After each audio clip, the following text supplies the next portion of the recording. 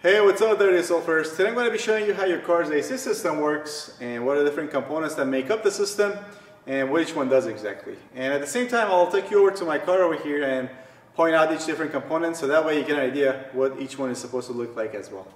Alright, as some of you may know, your AC system is a closed system and by that I mean your uh, AC system is never supposed to be open to atmospheric pressure.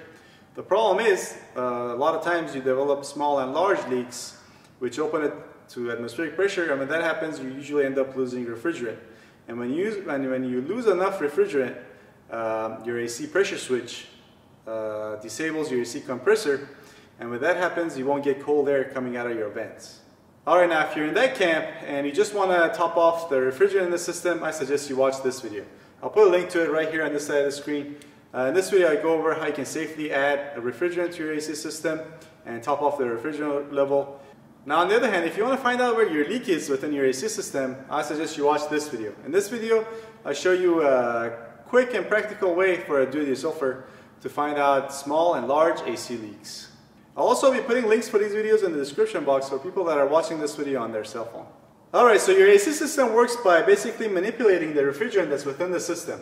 It cycles the refrigerant between a liquid and a gas state and as the refrigerant goes from liquid to gas and vice versa, it uses a temperature difference of the refrigerant in those different states to uh, lower the temperature that's inside the passenger cabin. Alright, so when you turn on your AC inside your car, your AC compressor clutch, which is this guy right here, it engages your AC compressor shaft that runs through your AC compressor, and then uh, you, you start turning the shaft inside the compressor and compressing the refrigerant that is coming into your AC compressor. And as you compress the refrigerant and you push it out of your compressor, the refrigerant is going to be in a gas state, okay? So after your AC compressor, your refrigerant is in a gas state, and then your uh, refrigerant goes to your AC condenser. The AC condenser is the radiator looking thing that's uh, in front of your car, usually in front of the radiator itself. And when refrigerant reaches your AC condenser, your AC fan is already turned on and it blows uh, air over your AC condenser, uh, cooling down the refrigerant that's inside your AC condenser. And as you cool down a pressurized uh, refrigerant that's in a gas state, what you'll end up happening is uh, you turn that uh, refrigerant that's in a gas state into a liquid. And once refrigerant leaves your AC condenser, it's going to be in a liquid state. I should also mention that after your AC compressor, after refrigerant leaves your AC compressor, uh, it's to start being in the high pressure side, which I got in red. So everything you see in red is to be your high pressure side, and everything you see in blue is to be your, your low pressure side. Alright, so here's a look at our AC compressor on this car, which is a 1995 Toyota Camry. There's our AC compressor pulley, our AC compressor, and our output and input AC lines. And to find out which one of these lines is uh, your output and which one is your input, well, you just have to follow these lines and the one that goes to your uh, AC condenser, which in our case is going to be this line right here, and we're going to follow it and it kind of wraps underneath, then comes back up, then goes in here, which then goes through here to our AC condenser, which is this guy right here. And also here's a look at our radiator slash AC fans, which are these two guys right here.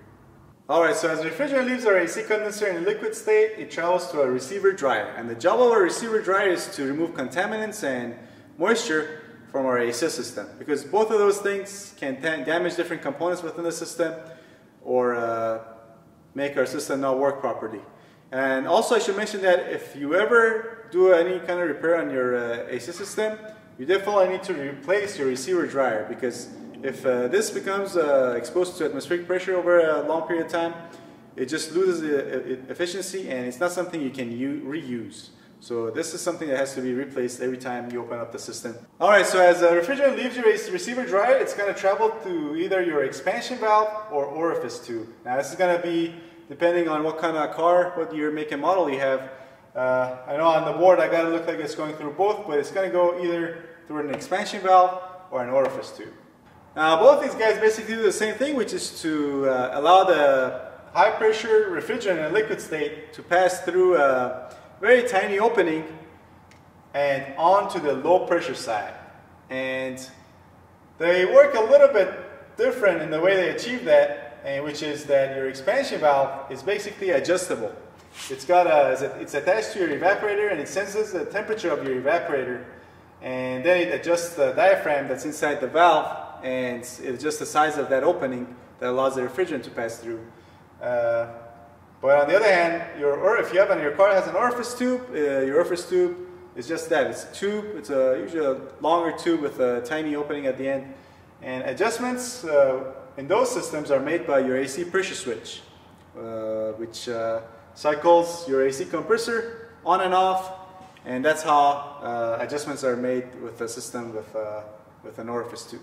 So as a refrigerant passes through these guys, passes through that tiny opening onto the low pressure side, it expands quickly because it's in a high pressure liquid state. And as it goes to low pressure, you know, it's going to expand.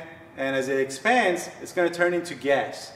And as it turns into gas, it's going to use up uh, a lot of its heat that it had before it reaches the low pressure side. And it's going to cool down, the refrigerant is going to cool down uh, quite rapidly and when that happens, the refrigerant then gets to your evaporator.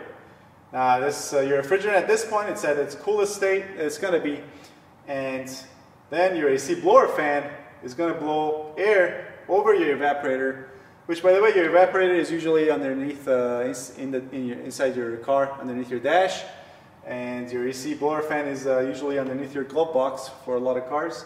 And uh, your AC blower basically is going to blow uh, air over your evaporator and your evaporator is going to then absorb uh, some of the heat of the air that's blowing over it, and then it's going to cool down that air. And then that air is going to travel through your dash and come outside your vents as a form of very nice, uh, chilly, cool air. And after your refrigerant leaves your evaporator, is uh, going to travel through your return AC uh, return line back to your AC compressor, and the whole thing is going to just uh, keep on repeating as long as you have your AC turned on. Alright, now let me show you these uh, components on the car as well. Alright, so as we talked about, when refrigerant leaves our AC condenser, it comes out to our uh, receiver dryer, which is this guy right here.